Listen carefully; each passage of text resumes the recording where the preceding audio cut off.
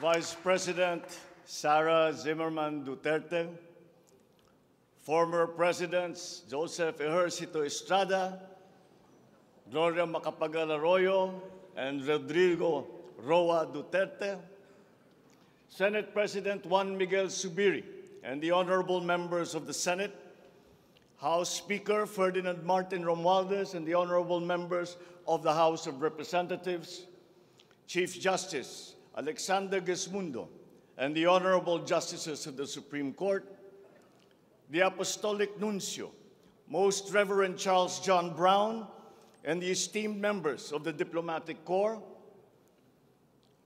the honorable members of the Cabinet, our First Lady, Louise Araneta Marcos, and our children,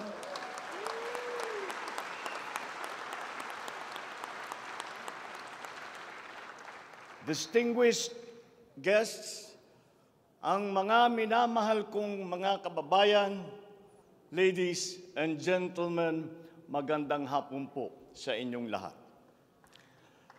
I come before you today to address you as it is my duty as President of the Republic. We live in difficult times brought about by some forces of our own making, but certainly also by forces that are beyond our control. But we have, and we will continue to find solutions, and these are some of them. In terms of the economy, we will implement a sound fiscal management.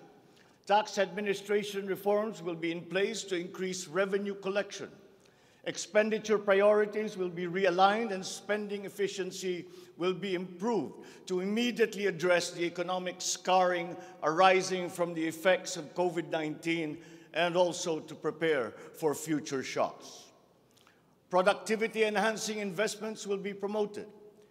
Our country must become an investment destination, capitalizing on the corporate recovery and tax incentives for enterprises with the CREATE law and economic liberalization laws such as the Public Service Act and the Foreign Investments Act.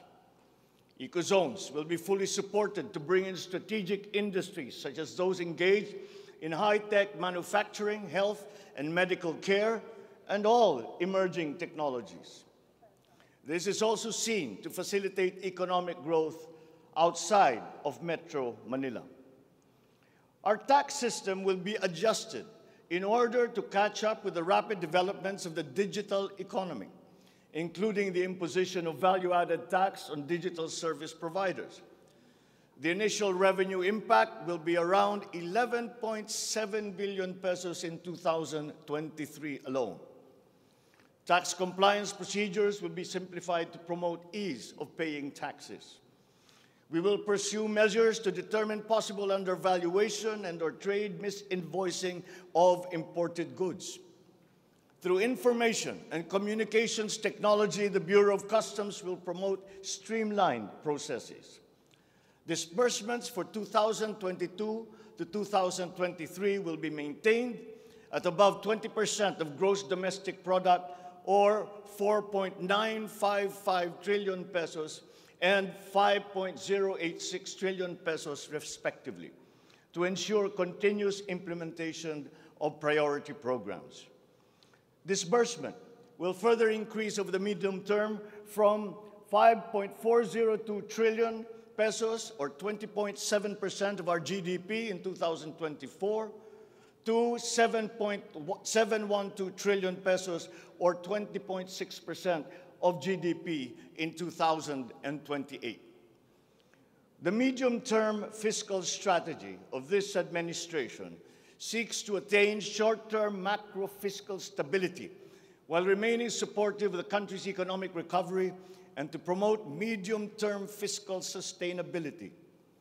Furthermore, and more importantly, Fiscal policy aims to bring together the national government's resources so that these are mobilized and utilized in order to gain the maximum benefit and the high multiplier effects for our economy. Measurable medium-term macroeconomic and fiscal objectives include the following headline numbers. These are based on forecasts that are consistent with the guiding principles of coherence of strategies, policy discipline, and fiscal sustainability. 6.5 to 7.5% real gross domestic product growth in 2022. 6.5 to 8% real GDP growth annually between 2023 and 2028. 9% or single digit poverty rate by 2028. 3% national government deficit to GDP ratio by 2028. Less than 60% national government debt to GDP ratio by 2025. At least 4,256 US dollar income per capita and the, the attainment of upper middle income status by 2024. The aforementioned headline goals summarize the objectives of this medium-term fiscal strategy being submitted to Congress for its adoption and concurrence to the concurrent resolution by the Senate and House of Representatives. Once adopted, the MTFF will become an anchor for the annual spending and financing plan of the national government and Congress when preparing the annual budget and undertaking related appropriation activities. It is therefore a forward-looking document that extends beyond the traditional three-year horizon to reach six years, coinciding with the six-year coverage of the Philippine Development Plan 2023 to 2028.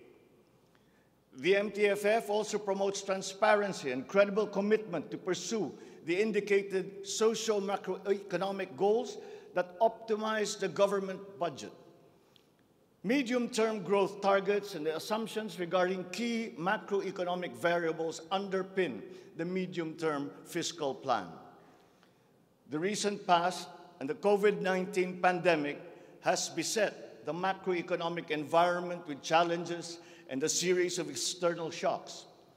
Inflation has accelerated in recent months due largely to significant increases in international prices of oil and other key commodities. Still, the economic growth momentum remains firm, as demonstrated by the strong 2022 first quarter GDP growth at 8.3%.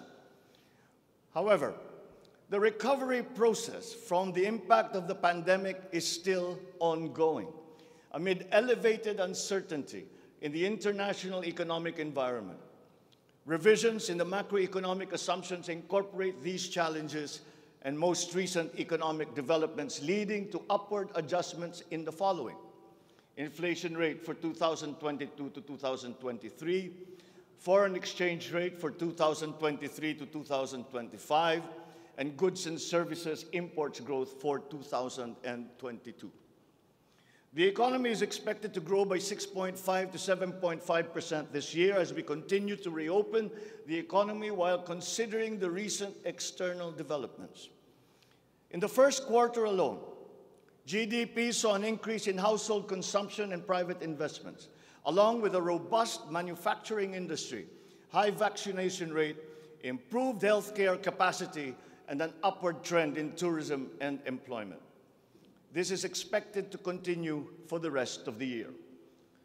The strong economic growth is projected to be sustained and expanded further to 6.5 to 8% from 2023 until 2028. The average inflation for 2022 is projected to range from 4.5 to 5.5%, following the uptick in fuel and food prices as a result of the ongoing Russia-Ukraine conflict and the dis disrupted supply chains. It is slightly adjusted to 2.5 to 4.5% in 2023 and is seen to return to the target range of 2.0 to 4.0% by 2024 until 2028. Dubai crude oil price is expected to settle at 90 to 110 US dollars per barrel in 2022, 80 to 100 US dollars per barrel in 2023, and 70 to 90 US dollars per barrel from 2024 onwards as oil supply is expected to catch up and stabilize over the medium term. The Philippine peso is projected to average between 51 to 53 pesos per US dollar in 2022 and 51 to 55 pesos per US dollar from 2023 onwards due to aggressive monetary policy tightening by the US Federal Reserve, market aversion amid the Russian-Ukraine conflict, and again, increased global oil prices. Lastly, exports of goods are expected to grow by 7% in 2022 and 6% from 2023 to 2028. On the other hand, imports of goods are projected to grow by 18% in 2022, 6% in 2023, and 8% from 2024 to 2028. I have instructed the NEDA to coordinate with other agencies and work on the Philippine Development Plan for 2023 to 28 and to submit to me the complete blueprint and progress of its implementation not later than year end. One of the main drivers of our push for growth and employment will be in the agricultural sector.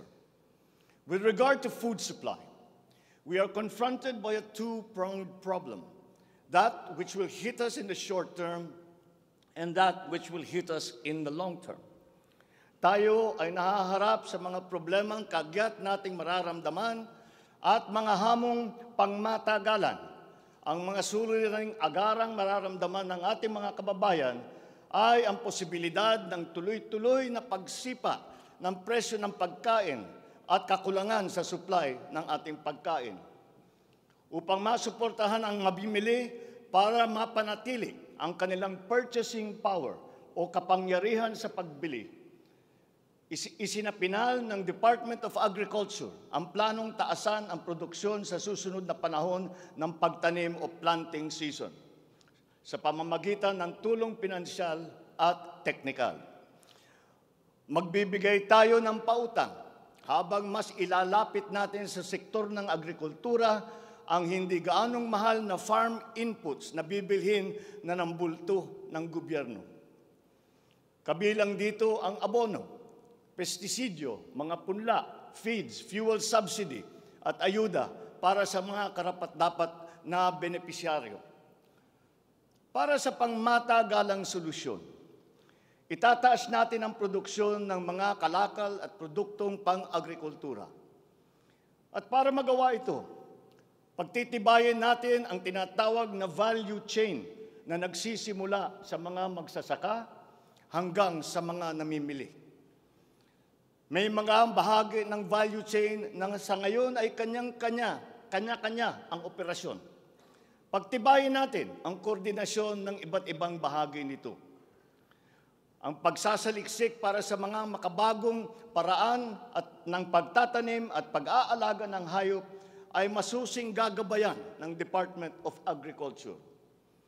Ang produksyon ng farm inputs o mga kakailanganin ng mga magsasaka sa pagpapalago ng kanilang sakahan ay ating iaayon sa mga hamong dala ng climate change at global warming. Mahigpit na pagsusuri ang gagawin ng ating mga eksperto tungo dito. Ang mga pautang at financial assistance sa mga magbubukid at mangingisda ay magiging institusyon at patakaran ng aking administrasyon.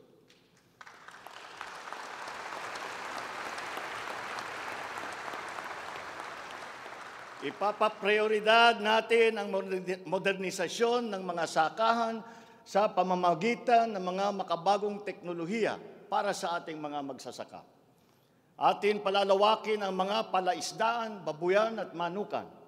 Lahat ng ito gagamitan ng siyensya para tumaas ang produksyong agrikultural.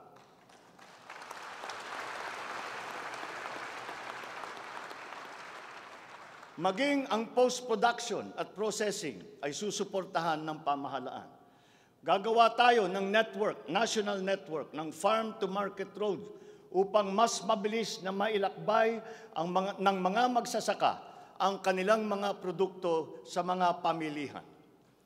At gagawa tayo ng mga paraan upang maramdaman ng mga mamimili ang pagluluwag ng presyo ng mga produktong pagkain sa kayang halaga, gaya ng muling pagbubuhay ng mga Kadiwa Center.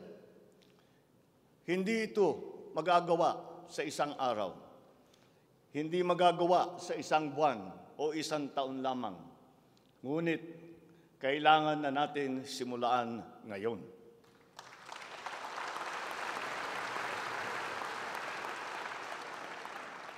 Ang Agrarian Reform Program ay dapat magpatuloy. Agrarian reform is not only about acquisition, but also about support services and distribution. To assist this, I intend to issue an executive order to impose a one-year moratorium on the payment of land amortization and interest payments.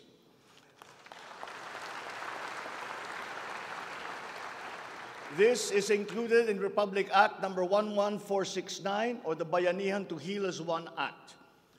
A moratorium will give the farmers the ability to channel the resources in developing their farms, maximizing their capacity to produce and propel the growth of our economy.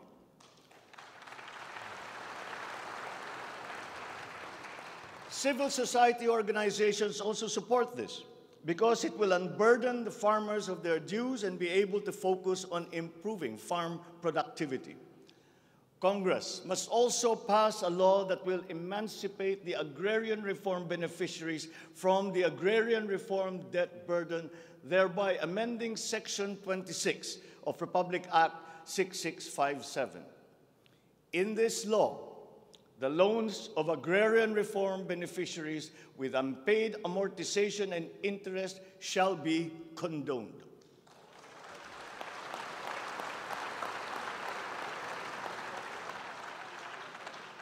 Layunin ng batas na ito ay burahin ang hindi mabayarang utang ng ating mga magsasaka na benepisyaryo ng agrarian reform.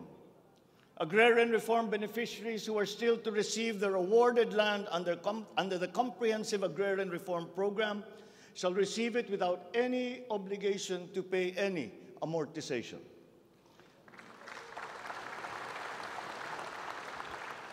The condonation of the existing agrarian reform loan will cover the amount of 58.125 billion pesos, benefiting 654,000 agrarian reform beneficiaries and involving a total of 1.18 million hectares of awarded lands.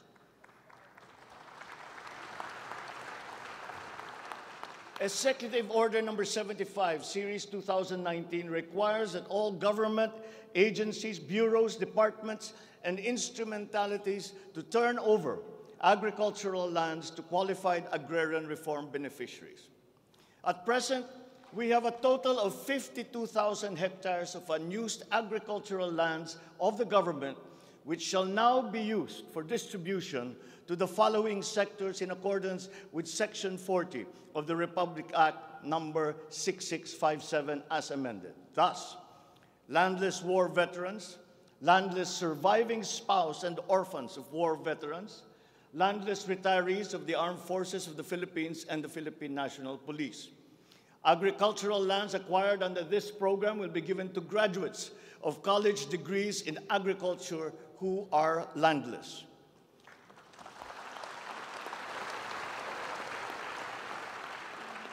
The call of the times is for the infusion of fresh and new blood in the agricultural sector. We need a new breed of farmers equipped with modern agricultural technology able to engage in sustained scientific farming that will not only increase farm yields, but also resilience in the face, in the face of climate change.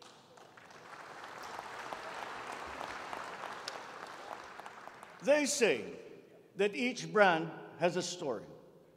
As for the Filipino brand, ours is deeply rooted in our rich cultural heritage, and the tourism sector plays an invaluable role in the promotion of the Filipino brand.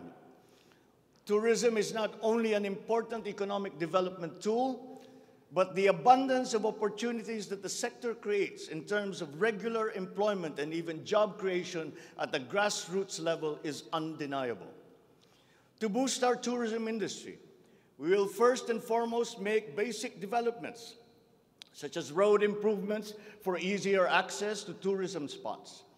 We will also upgrade our airports and create more international, more international airports to help decongest, more international airports to help decongest the bottleneck in the Manila airport.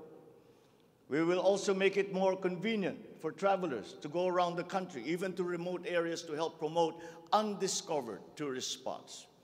This program will be led by the Department of Tourism together with the Department of Public Works and Highways.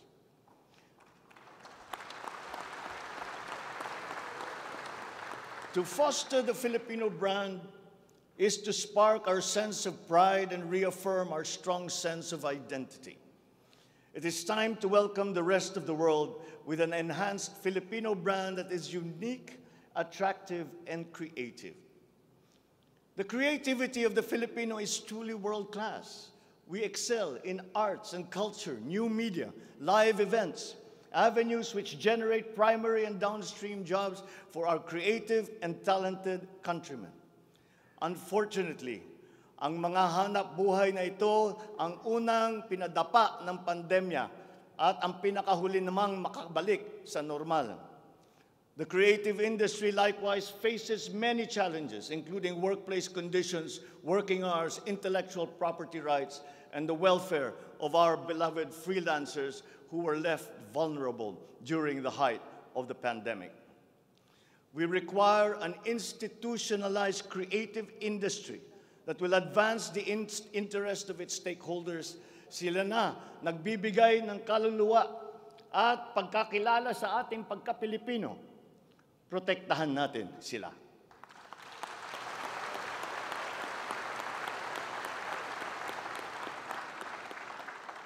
The Department of Social Welfare and Development has a large part to play in all of this. Magpapatuloy ang ating pagkalinga sa ating mga kababayan na lubos na nangangailangan. Hindi po natin sila pababayaan.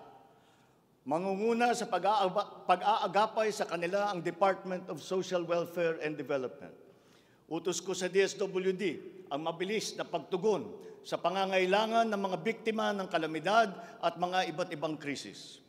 Ang mga field office nila ay inatasan na maagang maglagak ng family food packs at non-food essentials sa mga LGU bago pa man manalasa ang anumang kalamidad.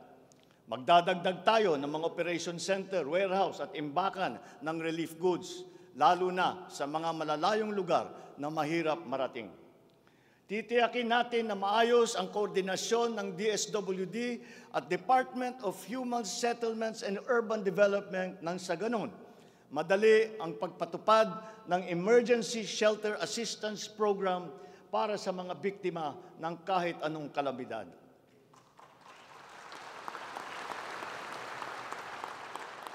Pagtitibayin pa natin ang komprehensibong programang Assistance to Individuals in Crisis Situations o ang ating tinatawag na AICS para maiparating ang tulong sa mas maraming biktima. Hindi natin hindi natin papahirapan ang mga biktima ng krisis na dudulog sa ahensya. Gagawin nating simple ang proseso ng paghingi at pagparating ng tulong. Dahil hindi naman dapat dinadagdagan pa ang hirap ng nararanasan ng ating mga mamamayan. Upang matiyak na mapupunta sa kwalipikadong mga pamilya ang tulong na pamahalaan sa pamamagitan na 4Ps o Pantawid Pamilya Pilipino Program, titiyakin natin na malilinis ang listahan ng benepisyaryo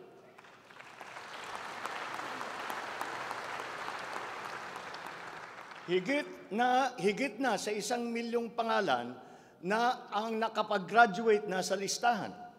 At nagagalak akong mabatid na, mabatid na sila ay nakakatayo na sa kanilang sariling paa. Kaugnay nito ay inutusan ko ang DSWD na pag-ibayuhin pa ang pagrepaso ng listahan upang maitutok ang pamimigay ng sapat na ayuda sa mga lubos na nangangailangang pamilya. Magpapatuloy ang supplemental feeding program para sa mga bata sa child development centers at supervised neighborhood play at lalo pa nating palalawakin sa taong 2023.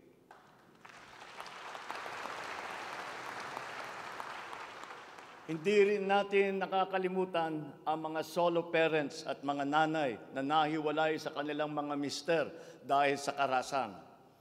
Pagtitibayin natin ang programa sa violence against women and their children. Kabila na ang, kabilang, kabilang na ang counsel, counseling para sa mga biktima, katuwang ang ating mga LGU. Tiyakin natin na sapat ang pondo sa halos 70 residential care centers at 7 non-residential care centers para sa vulnerable sectors at persons with disabilities na sumisilong dito.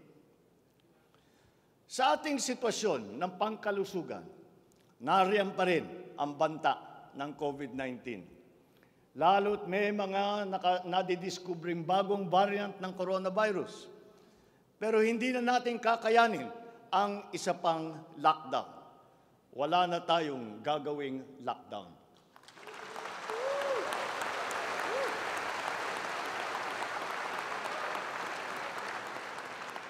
Dapat natin balansehin ng maayos ang kalusugan at kapakanan ng ating mga mamamayan sa isang banda at ang ekonomiya naman sa kabilang banda nakikipagtulungan ang iba't ibang ahensya ng pamahalaan sa pagmonitor sa mga COVID-19 hospital admission upang makatiyak tayo na may sapat na kapasidad ang ating healthcare system at maiwasan ang pagsipa ng bilang ng nagkakasakit. Patuloy din ang ating vaccine booster rollout para sa ating pangkalahatang depensa.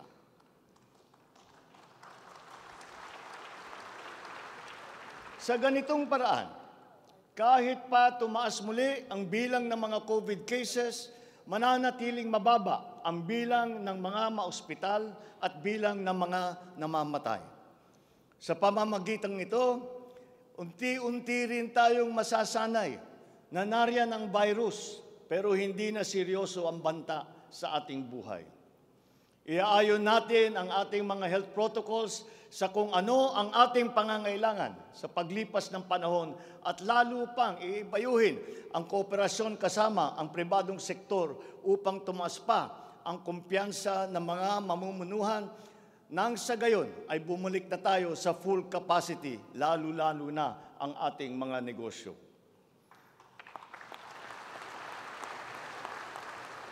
Pagpap pagbubutihan pa natin ang pagpapakalat ng tamang impormasyon ukol sa COVID, kasama ang kahalagahan ng bakuna. Mananatili muna sa ngayon ang alert level system natin. Pinapag-aralan natin ang ibang paraan ng klasifikasyon upang mas babagay sa kasalukuyang sitwasyon lalong-lalo na sa pagbabago ng COVID. Sa pakikipagtulungan ng Kongreso, itatatag natin ang ating sariling Center for Disease Control and Prevention at ang isang Vaccine Institute.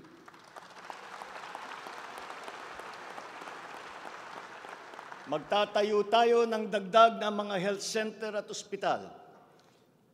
But beyond the issues that the pandemic has brought, the need for a stronger healthcare system is self-evident. We must bring services, medical services to the people and not wait for them to come to our hospitals and healthcare centers.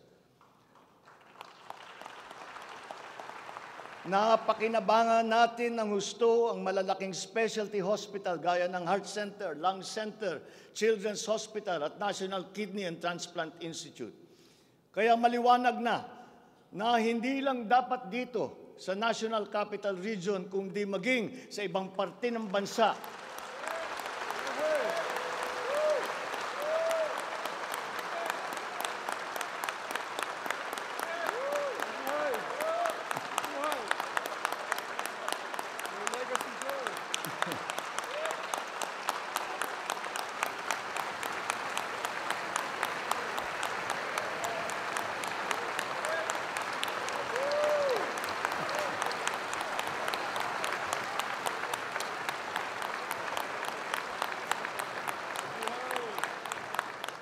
Maliwanag na hindi lamang dapat dito lamang sa National Capital Region, kundi maging sa ibang parte ng bansa, kailangan magdagdag ng ganitong uri ng mga pagamutan.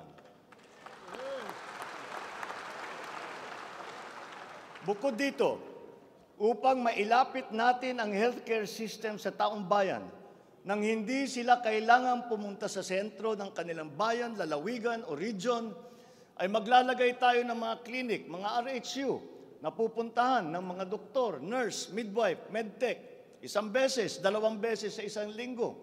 Nang sa ganun, magiging mas madali sa may karamdaman na magpapagamot nang hindi, pa, hindi na kailangan magbiyahe ng malayo.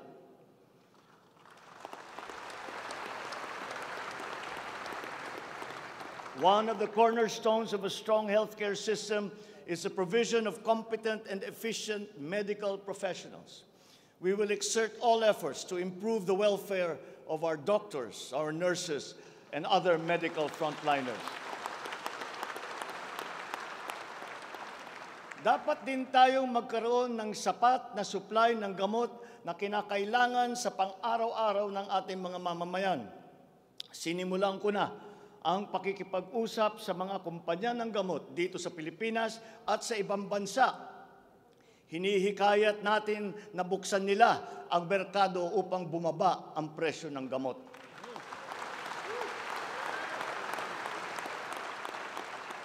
Halimbawa, kung mas marami ang mas murang generic o hindi branded na gamot sa merkado, mas bababa mas bababa rin ang presyo dahil sa kompetisyon. Ang Department of Trade and Industry ay nakikipag-usap sa mga interesadong manufacturer ng generic drugs na papasok sa ating bansa. Inuutusan ko naman ang Philippine Competition Commission na pantay-pantay dapat at walang kartel sa hanay ng mga pharmaceutical companies.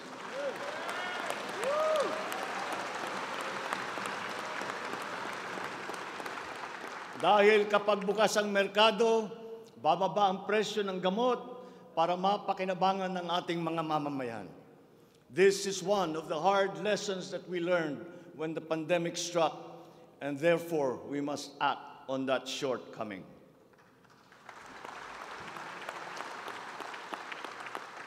In the educational sector, I believe it is time for our children to return to full face-to-face classes once again.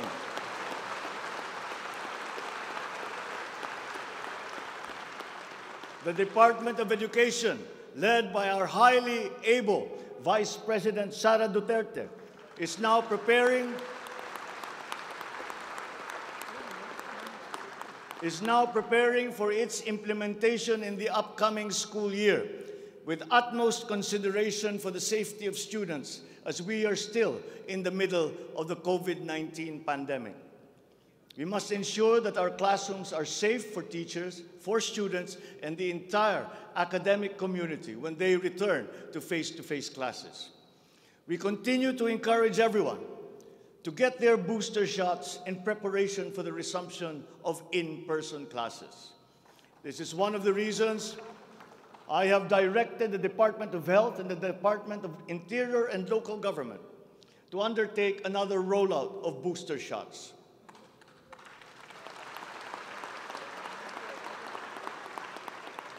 The condition and availability of schoolrooms for our students must also be addressed, again, in coordination with the Department of Public Works and Highways.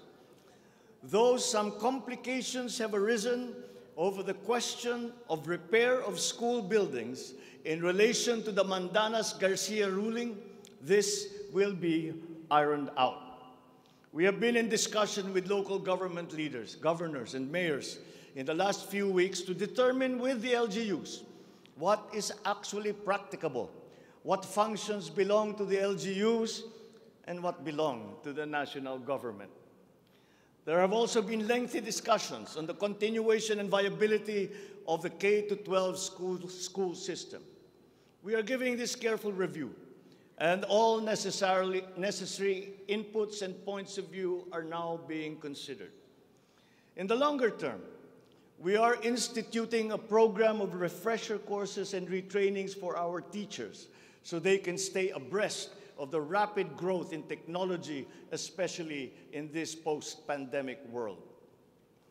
As for, as for the horror stories that we have heard about the poor quality of educational materials and supplies that are being given to our schools, this must end.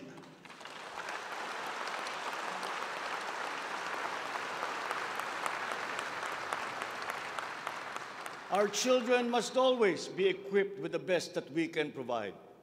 Ang edukasyon ay ang tangi nating pamana sa ating mga anak na hindi mawawaldas. Kaya anumang gastusin sa kanilang pag-aaral ay hindi tayo nagtitipid. Hindi rin tayo nagtatapon. And once again, I am not talking about history or what is being taught. I am talking about materials that are necessary for effective teaching in this day and age. Children now need connectivity to the internet. They need devices to use. They need computers, educational tools.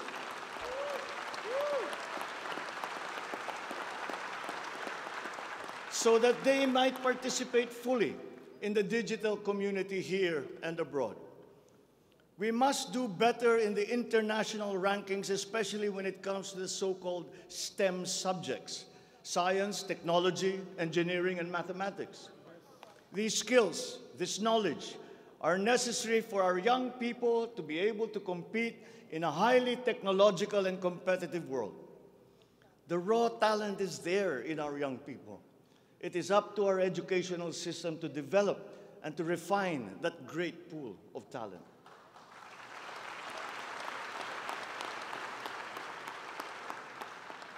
Foreign employers have always favored Filipino employees because of our command of the English language. This is, a, this is an advantage that we must continue to enjoy.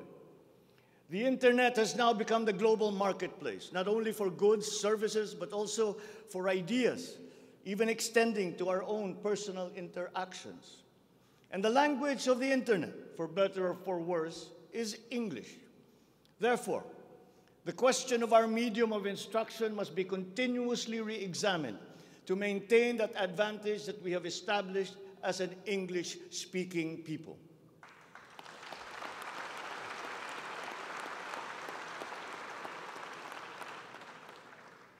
On a related subject, we are entering an age of exponential adoption of technology. It is the fourth industrial revolution. This will be characterized by the infusion of technology into almost every facet of our lives. Breakthrough technologies in the areas of quantum computing, artificial intelligence, nanotechnologies, the Internet of Things, robotics, self-driving electric vehicles, 3D printing, virtual and augmented, augmented realities, among others, that will radically transform the way business is done. The scale and the speed at which these innovations are introduced universally into our everyday lives and activities is unprecedented in our recorded history. We cannot stand idly by. The mission of our Department of Information and Te Communications Technology is to identify and utilize these innovations to improve governance. It has the daunting task now of transforming our government into an agile bureaucracy that is responsive to the needs of the public. Provide good and solid data to ensure informed decision making, as well as allow secure and seamless access to public services.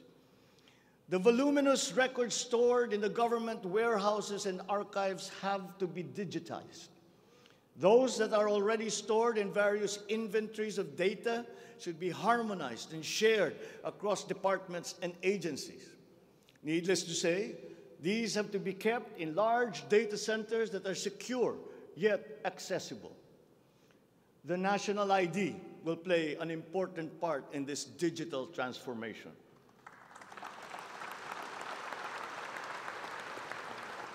For citizens to be able to seamlessly transact with government, their identity must be easily verifiable. We expect to issue 30 million physical IDs and 20 million digital IDs by the end of this year.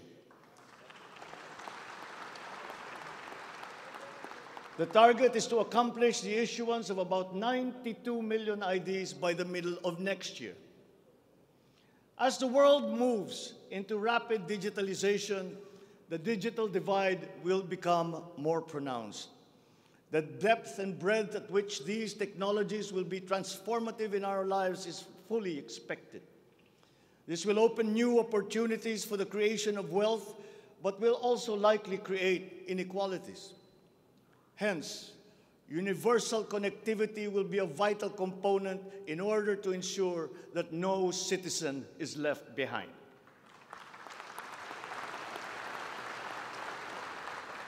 Uh, I have therefore tasked the DICT to deploy digital connectivity across our various islands. This will be done through the implementation of the National Broadband Plan, the Common Tower Program, connecting our geographically isolated and disadvantaged areas via our Broadband ng Masa project.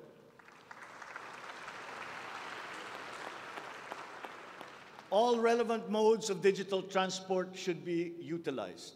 These may be through a combination of terrestrial or submarine fiber optics, wireless, and even satellite technology. As our Public Service Act has opened the doors and removed the restrictions on foreign investment, we foresee an increase in direct investment of overseas players. This will translate into better quality, availability, and affordability of telecommunication services all over the country. We come now to infrastructure. The backbone of an economy is its infrastructure. The infrastructure program of the Duterte administration must not only continue, but wherever possible, be expanded.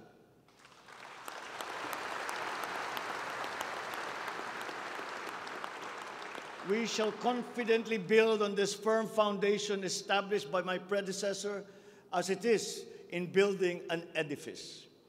We must keep the momentum and aspire to build better, more. Necessarily, infrastructure development will remain a very high priority in our drive for growth and, and employment. Once again, I will not suspend any of the ongoing projects as those have already been shown to be of benefit to the public that they serve.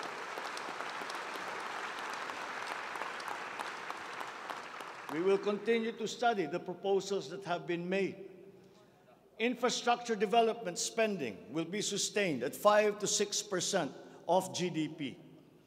The planned expansion of infrastructure projects, I believe, would be possible if we continue to encourage the participation of the private sector in the development of our programs.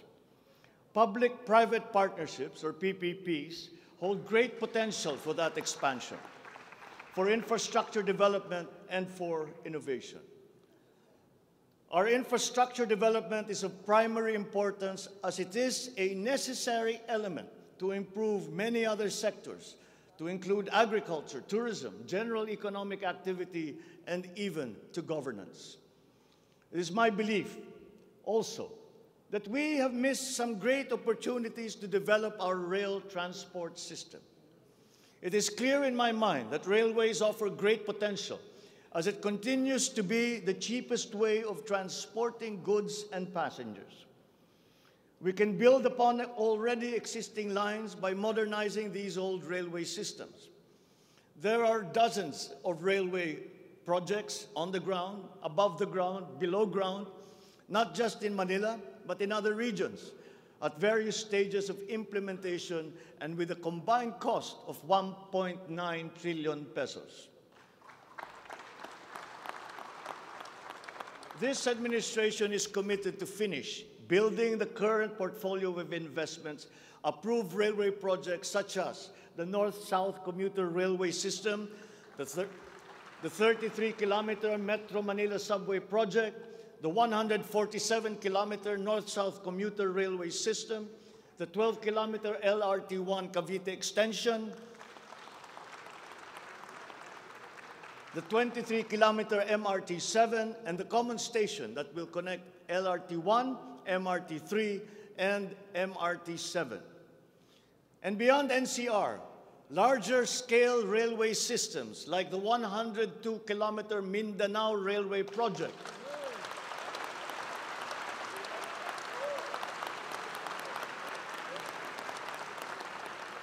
The Panay Railway Project. And the Cebu railway system will be integrated as a vital part of our transport and communication systems. We will also continue to improve our roads and transportation systems in key cities throughout the country through various projects, such as the Cebu Bus Rapid Transit, Davao High Priority Bus System, Ilocos Norte Transportation Hub, the El Nido Transport Terminal. My order to the Department of Transportation, or DOTR, is really very simple. Full speed ahead.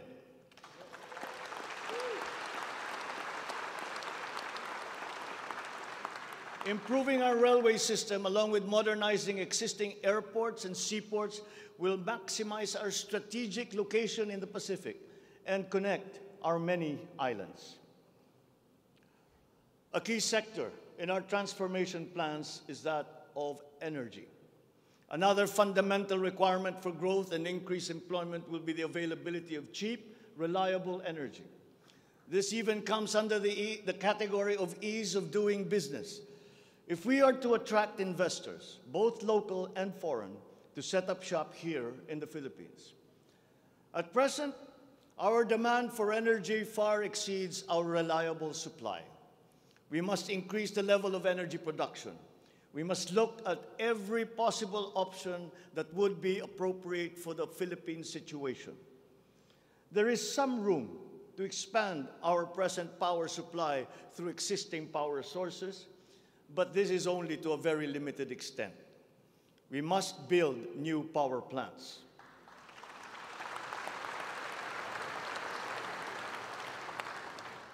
We must take advantage of all the best technology that is now available, especially in the areas of renewable energy.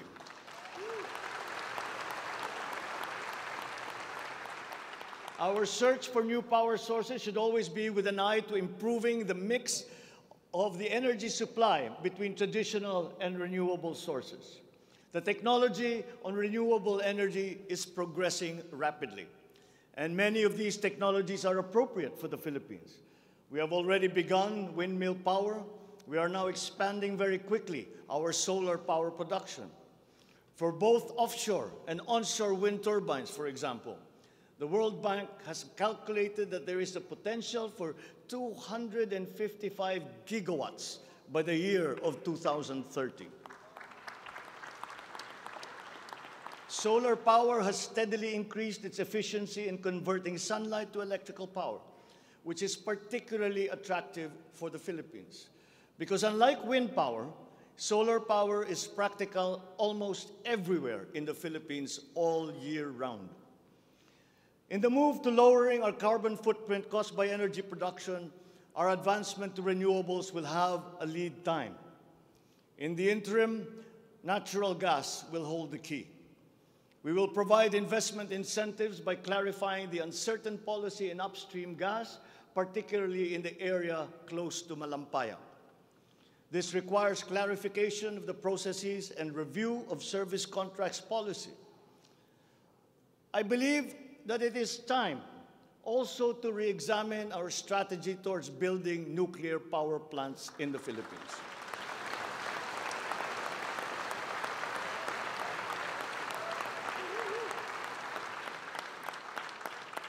We will comply, of course, with the International Atomic Energy Agency regulations for nuclear power plants as they have been strengthened after Fukushima.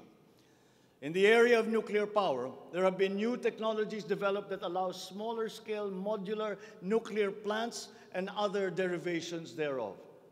Once again, PPPs will play a part in support as funding in this period is limited. Furthermore, we must examine the entire system of transmission and distribution for the purpose of finding ways to lower the price of energy to the consumer and to industry. We must expand the network of our transmission lines while examining schemes to improve the operation of our electrical cooperatives. All this in aid of reducing energy costs, especially but not limited to households. All this impetus for development and growth we undertake within the context of accelerating climate change and extreme weather conditions. Though we are a minor contributor to climate change globally, we have the unfortunate distinction of being one of the most vulnerable countries to the effects of climate change. For the welfare of our people, it is incumbent upon us to alleviate the effects of that vulnerability. The use of renewable energy is at the top of our climate agenda. We will increase our use of renewable energy sources, sources such as hydropower, geothermal power, solar, and wind. Geographically, we are a disaster-prone country. Capacity building for our natural disaster resiliency is therefore a must. Investment in science and technology is imperative to enable us to have accurate weather forecasts and on-time disaster alerts. Studies show that already now, many areas in the Philippines are at high risk from the rise in sea levels brought about by the increase in global temperature. We must adapt to this phenomenon with disaster-proof planning for our communities. We will also look into the precarious freshwater supply situation in the country, especially in our urban areas. Many of our water supply systems date back to the 1950s, and they must now be rehabilitated and improved.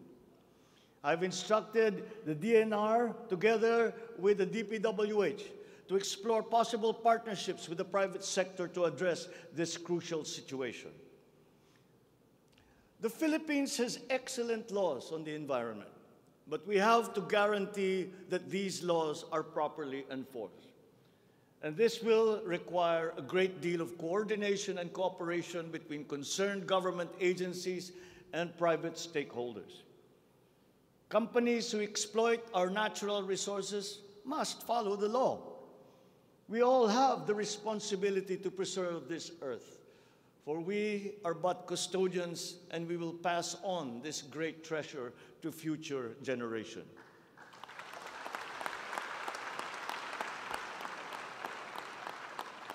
There is no question that the preservation of the environment is the preservation of life.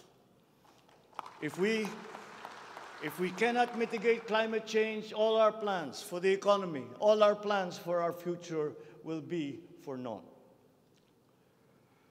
Bawat Pilipino sa ibayong dagat na nagsasakripisyong lisanin ang kanyang pamilya sa Pilipinas upang maghanap buhay ay nararapat lamang magkaroon ng pamahalaang matatawag nilang tahanan habang nasa ibang bayan.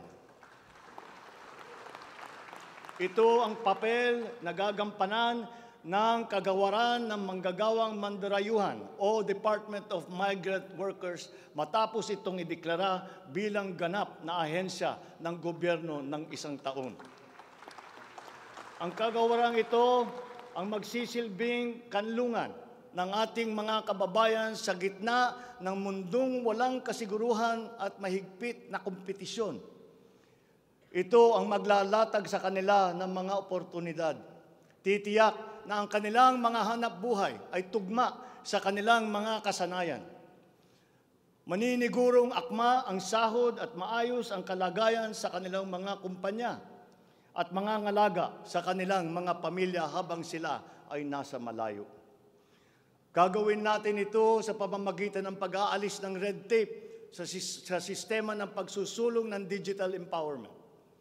We shall automate the verification of contracts and issue secure overseas employment certifications that you can keep on your smartphone. I call on the Department of Migrant Workers and the DICT to make this a top priority. Tinatawagan ko rin ang Department of Foreign Affairs na makipagtulungan sa Department of Migrant Workers na tiyakin ang lahat ng mga diplomatic post ay tutulong na agarang maibalik sa trabaho ang mga ating mga overseas Filipino workers na nawalan ng hanap buhay nitong nakalipas na ilang taon. Mula Mula sa tatlong buwan ay gagawin na lang nating tatlong linggo para sa isang dayuhang employer na iproseso ang mga papeles ng Pilipinas ng Pilipinong nais nitong kunin bilang empleyado. Aatasan din natin ang kagawara, kagawaran ng gawing simple ang komplikadong handbook ng mga tuntunin at regulasyon para sa mga OFW. Nang sa gayon ay maging malwan ang mga transaksyon may kinalaman sa kanilang pangingibang bansa. Mula sa handbook na may dalawang daan at apat na pong seksyon, ay gagawin nating pamphlet na lamang na hindi hihigit sa isang daang pahina. Mahirap na nga ang buhay. Kaya naman, ayaw pa natin makitang lalo pang nahihirapan ang ating mga manggagawang mandarayuhan sa pagtupad sa kanilang mga pangarap para sa mga kababayan nating naiipit sa kaguluhan, inaabuso at nanganganib ang buhay, ikinagagalak kong sa ilalim ng aking pamumuno ay ilulunsad natin ang One Repatriation Command Center o ORCC. Ilalaan natin ang isang social media platform ng Department of Migrant Workers at ang hotline upang matulungan agad at maligtas sila mula sa mas higit na kapahamakan. Noon, nangungutang pa ang isang ina ng bawat OFW upang sumakay ng barko para pumunta sa Maynila at mangatok sa iba't ibang ahensya para mapauwi ang anak na inaapi. Ngayon, kami na ang tatawag sa mga magulang ng OFW para sabihin sa kanila para sabihin sa kanila ang petsa kung kailan nila mayayakap at makakapiling ang kanilang mga anak.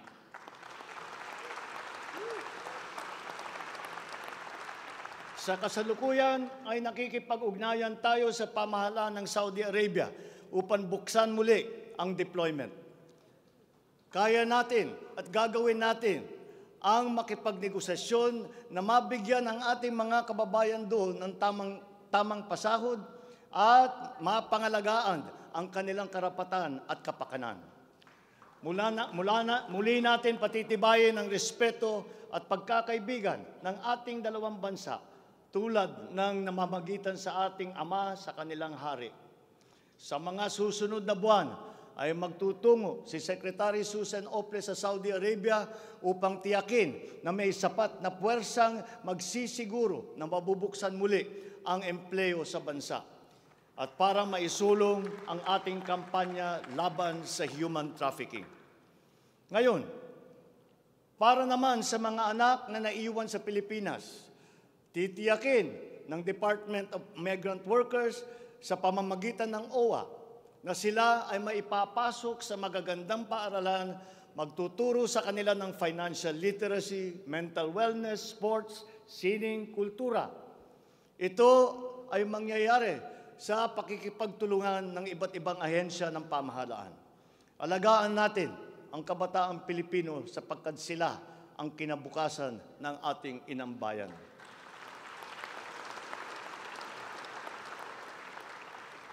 Sa ating mga kababayan na nasa ibang bansa, you deserve a home in government, not only for the money that you send home, But you are not cold tools of the economy. You deserve it for your sacrifices for our country and your perseverance and excellence in the global arena. You OFWs represent the fighting faith of the Filipinos as a nation and as a people. Let us transform your overseas journey into inspirational stories for all time. Thanks to you, our dear legislators, and of course to the man every OFW now refers to as their tatay, President Rodrigo Duterte. you passed the law that created this new home for our OFWs.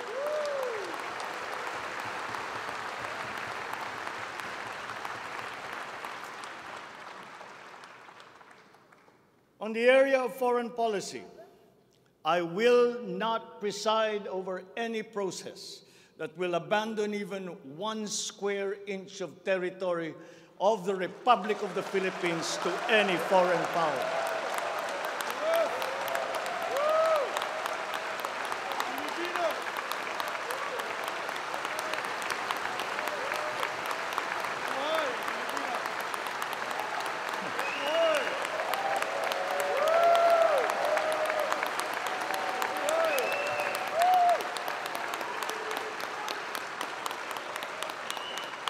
With respect to our place in the community of nations, the Philippines shall continue to be a friend to all, an enemy to none. The Philippines has always been open and welcoming to all our foreign friends and visitors. That is our worldview. That is our culture. But let me be clear. We are very jealous of all that is Filipino.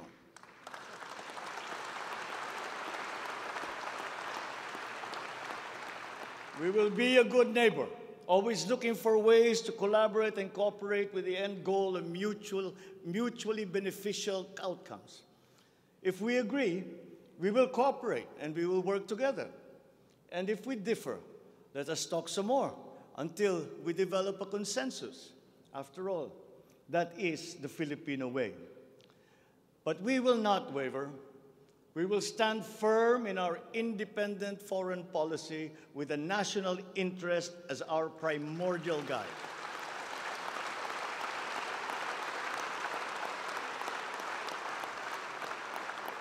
We commit to maintaining good relations with the rest of the world. As a matter of fact, it is my sincere belief that the need for strong bonds and collaboration among nations emerges in the direst of times such as in a pandemic.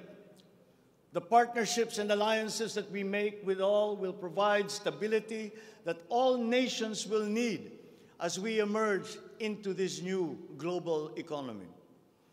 The Philippines will continue to promote stronger and multifaceted relationships with all our partners around the world. We are, in fact, grateful for the messages of support and offers of help that we have received from many of our friends in the international community. This has been communicated to us through the different envoys and ambassadors here in the Philippines. Such strong relationships can only be beneficial to all involved.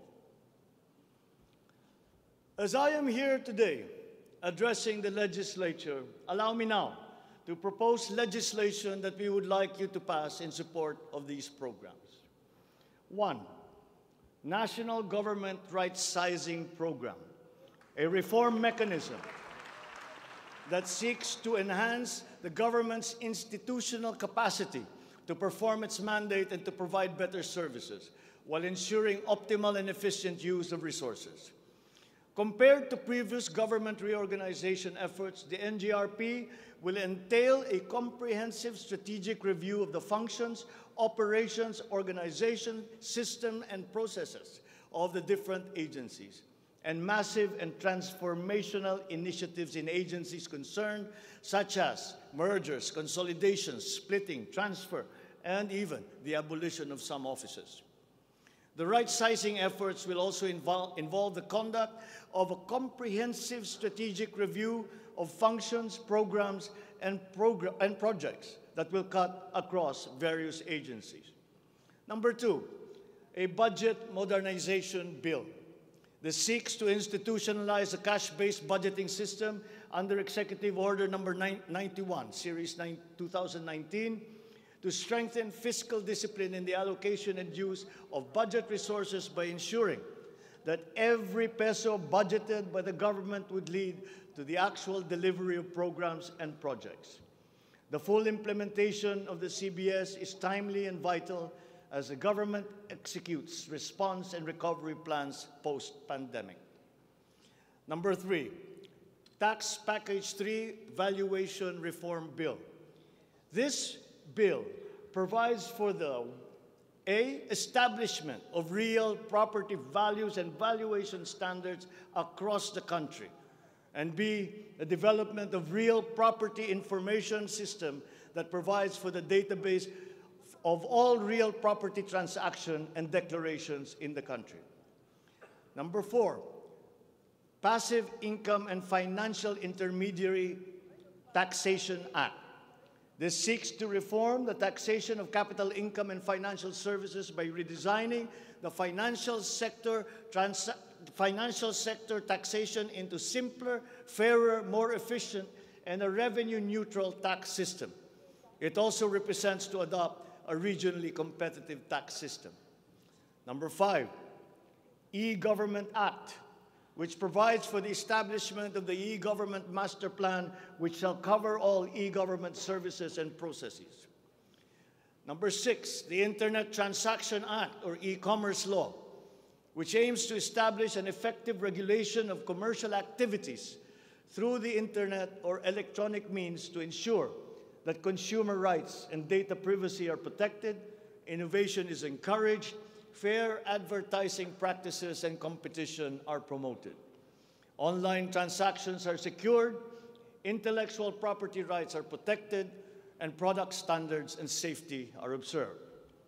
Number seven, government financial institutions unified initiatives to distressed enterprises for economic recovery.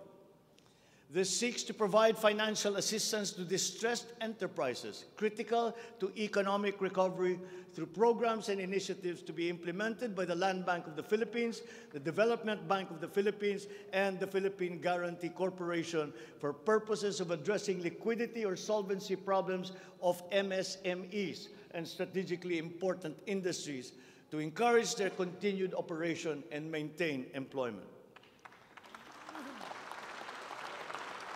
Number eight, the establishment of a medical reserve corps establishes a medical reserve corps under the Health and Emergency Management Bureau of the DOH. The MRC shall be composed of licensed physicians, medical students who have completed their four years of medical courses, graduates of medicine, registered nurses, licensed and licensed allied health professionals. Number nine, National Disease Prevention Management Authority. This bill seeks to create the Center for Disease Prevention and Control attached to the DOH. Number 10, the creation of the Virology Institute of the Philippines. This will create the Virology Science and Technology Institute of the Philippines as an attached agency of the DOST. All offices and units under the DOST with functions related to virology shall now be transferred to the, the Virology Institute of the Philippines. Number 11, the Department of Water Resources. This seeks to create the Department of Water Resources and adopts the integrated water resource management as the strategic framework for national water management policy making and planning. Number 12, unified system of separation, retirement, and pension.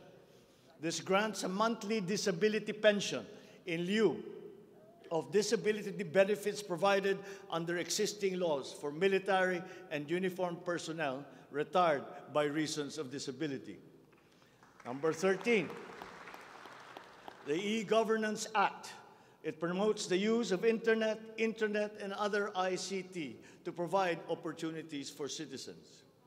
Number 14, the National Land Use Act.